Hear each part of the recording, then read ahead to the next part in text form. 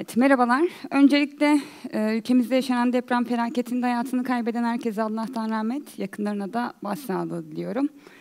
Ben de bölgeye ilk varan arama kurtarma ekiplerinden birindeydim ve günlerce bölgede enkaz altı çalışanı olarak görev aldım. Bu yüzden bu etkinliğin gelirini e, depremzedelere bağışlayan TEDx ailesine öncelikle, ardından zamanınızı ayırıp buraya geldiğiniz için sizlere çok teşekkür ediyorum. Evet, ben Güntül Yalçın. 3 Ekim 1993'te Ankara'da doğdum.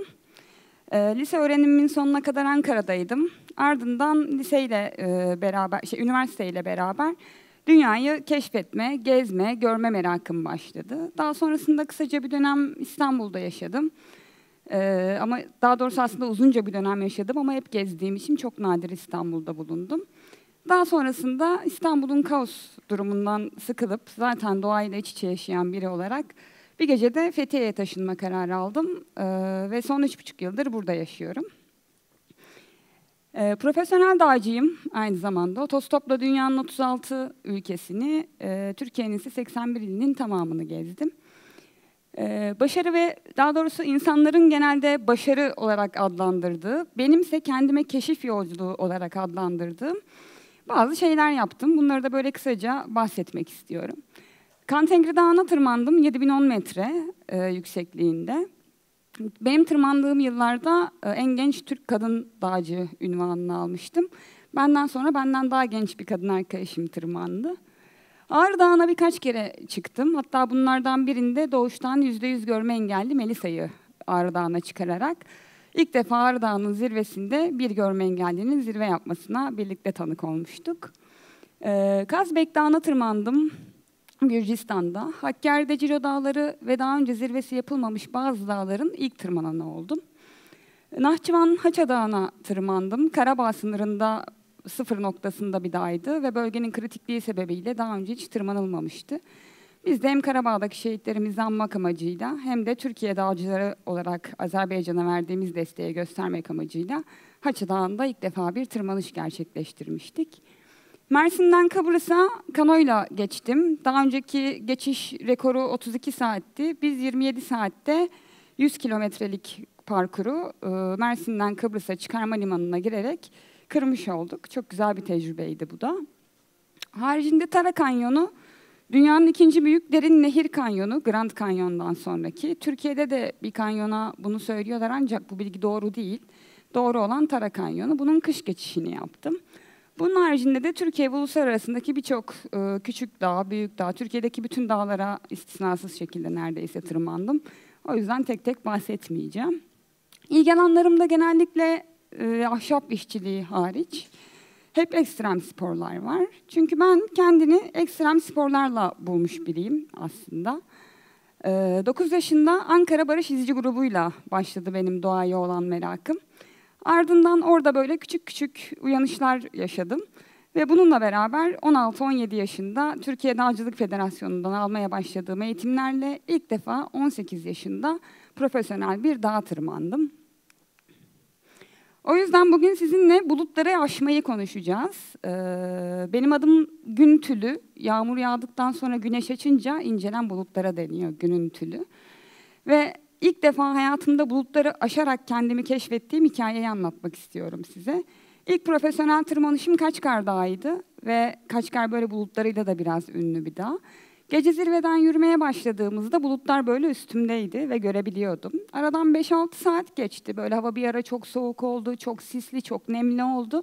Ve hava artık aydınlanmaya yakındı. Zirveye de son böyle bir 200 metre falan kalmıştı. Ayakta mola verdik.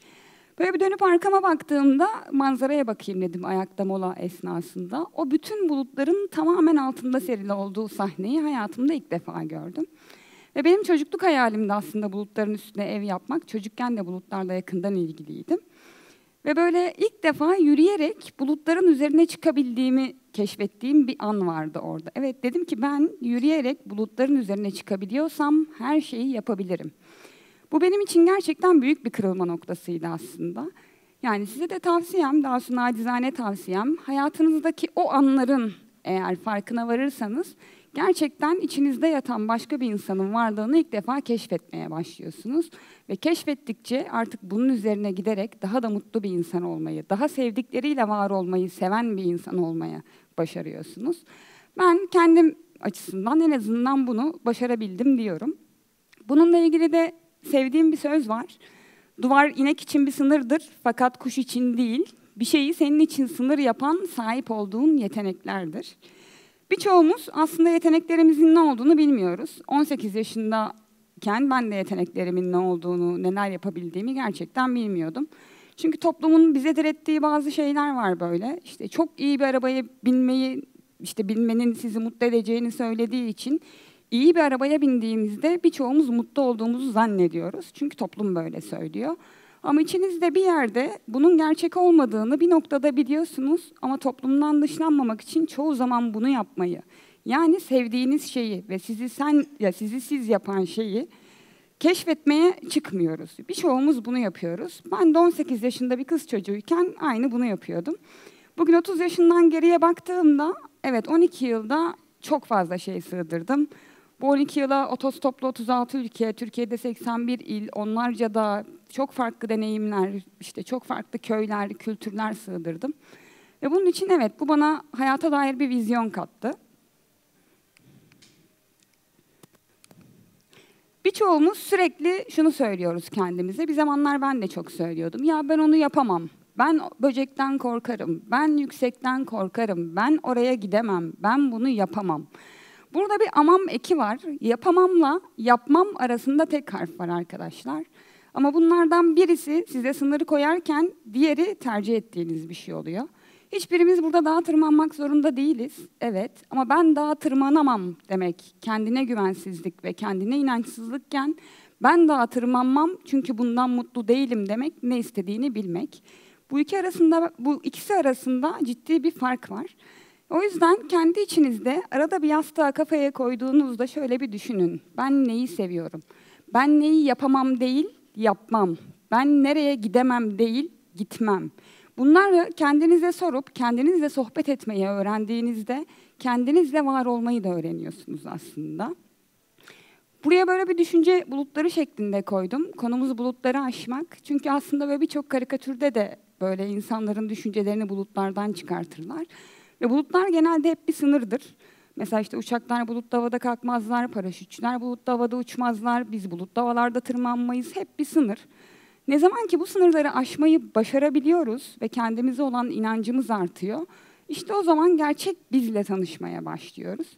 Benim kendime olan keşif yolculuğumda otostopla 36 ülke, Türkiye'de 81 il nasıl oldu konusu çok soruluyor bana.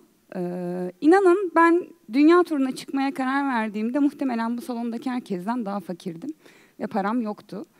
Ee, sadece babadan yeşil pasaportum vardı. O yüzden vizesel bir problem yaşamıyordum. Ama şu an günümüzde birçok ülke zaten vizesiz. Ee, takip ettiğim yabancı bloglarda bir kadın gördüm. Otostopla dünyayı geziyordu ve bana ilham oldu. Bugün umarım ben de size ilham olabilirim bu konuda.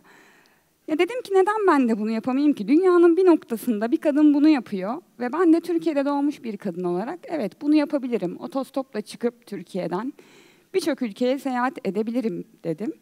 Ve ilk otostop çekme deneyimimde böyle birazcık çekingendim ben de herkes gibi. Ama o elimi bir kere kaldırdığımda ömrüm boyunca geri indiremeyeceğimi o gün ben de bilmiyordum gerçekten. Ve bugün sadece şunu yaparak 36 ülkeyi görmeyi başarmış biri olarak buradayım. Çünkü yani birçok alanda aslında konforumdan çok vazgeçtim. Evet, çadırda yaşamayı öğrendim. Hatta çok uzunca yıllar neredeyse doğru düzgün yatakta yatmadım. Sürekli çadırda yattım.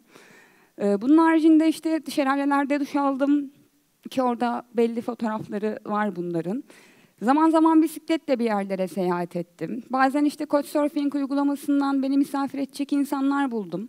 Hatta bazen onu da bulamadım. O insanlara sadece tek ricada bulundum. Beş dakika evinizde bir duş alıp çıkabilir miyim dedim. Birçoğu kabul etti. Dünyanın birçok noktasında sizi misafir edecek yüzlerce insan var aslında. Çok mu iyi, iyi dil konuşuyordum yurt dışına çıkarken? Hayır. Yani ben de ortalama bir İngilizceyle gittim. Ki çok çok iyi İngilizce biliyor olsanız dahi gittiğiniz birçok ülkede size cevap verecek insanlar zaten İngilizce konuşamıyor. Ama bizde genelde şöyle bir algı var ya ben dil bilmiyorum nasıl gideceğim? Ben işte yol bilmiyorum nasıl yapacağım? Yani aslında yola çıktıktan sonra yol size bir şekilde ne yapmanız gerektiğini ya da sizi bir noktaya götürüyor ve her şeyi akışına bıraktığınızda o sınırlarınızı, algılarınızı toplumun dışına açtığınızda her şey çok daha farklı oluyor. Bunun haricinde bazen paramın bittiği zamanlar oldu. Hatta bir kere yurt dışında bayağı hastalanmıştım ve cebimde gerçekten Türk lirası olarak hesabımda işte 23 TL falan gibi bir rakam yanımda da 13-14 dolar gibi bir para vardı. Ve ülkeme dönmek isteyecek olsam dönecek bilet param bile cebimde yoktu. Ve böyle ne yapacağım diye düşünürken Couchsurfing'de bir aile beni misafir etmeyi kabul etti. İşte hastaneye götürdüler. İki, iki hafta boyunca bana baktılar.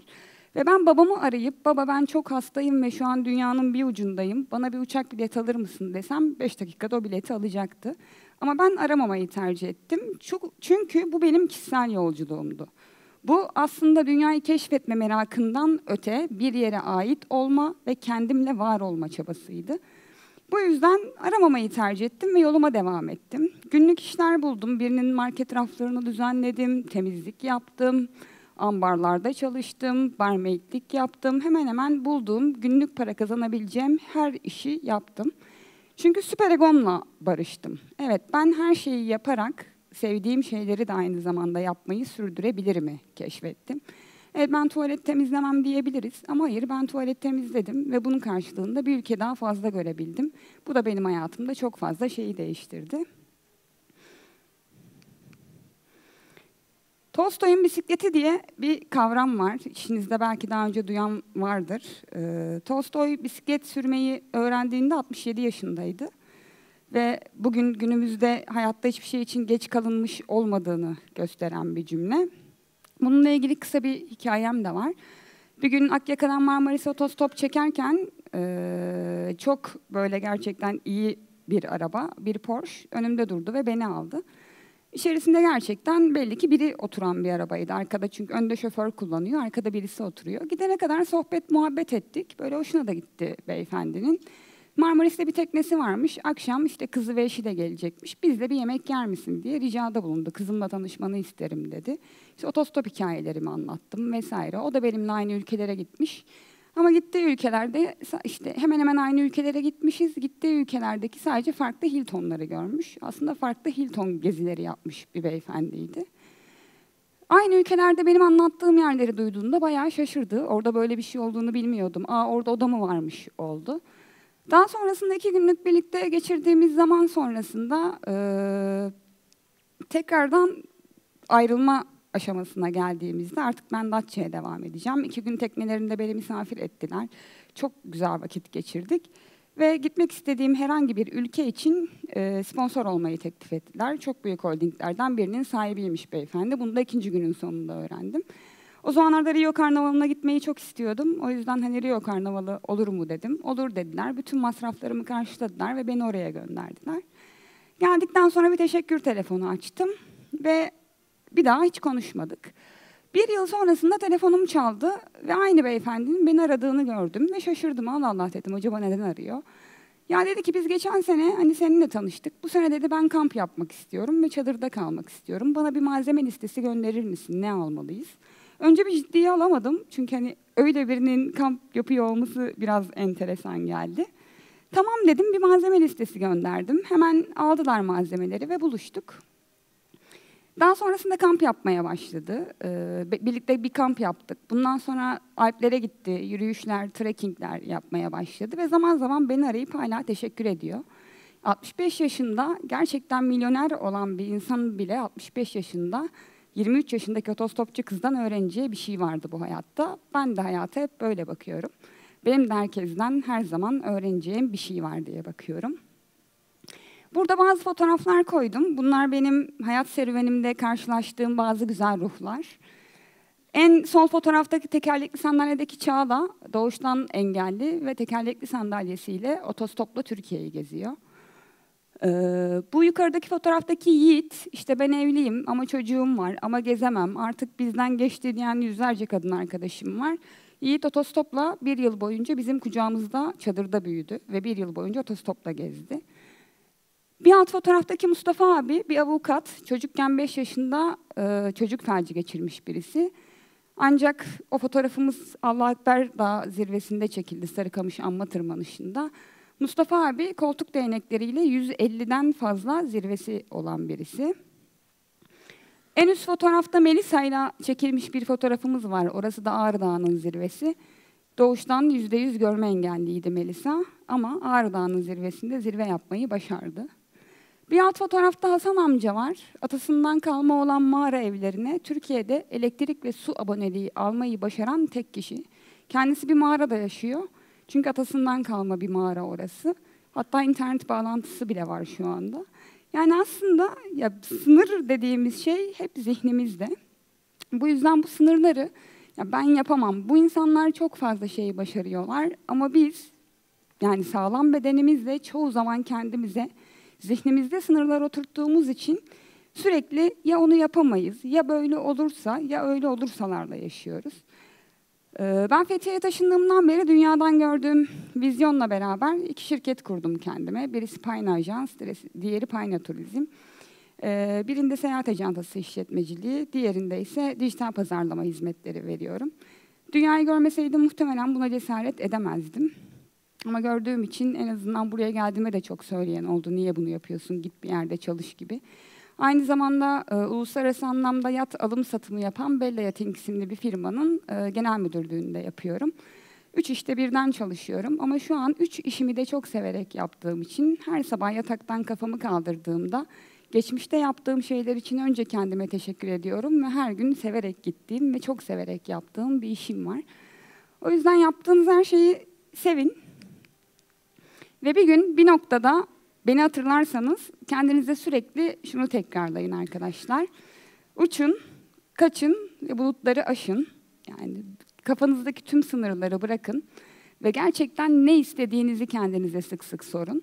Bunları yapmaktan çekinmeyin. Ben de çok hata yaptım, ben de çok yanlış yaptım. Fethiye'ye taşınmaya bir gecede karar aldım ve 48 saat sonra Fethiye'deydim. Bundan 4 ay sonra pandemi başladı ve ben Fethiye'de işsiz kaldım. Pekala babamın evi var. Ankara'ya gidip dönebilirdim ama yine de dönmedim. Ahşaptan bir şeyler yapıp Instagram'dan sattım. Kiramı ödedim ve yine Fethiye'de kalmaya devam ettim. Yani ben yaptıysam aslında 48 kilo bir kadından sizin daha da fazla yapabileceğiniz şeyler var. Sizin potansiyeliniz belki de benden daha yüksek. Sadece kendinizi keşfetmenizi beklediğiniz bir nokta var. Onu bulmanızı rica edeceğim. Nacizane. Teşekkür ederim beni dinlediğiniz için bugün.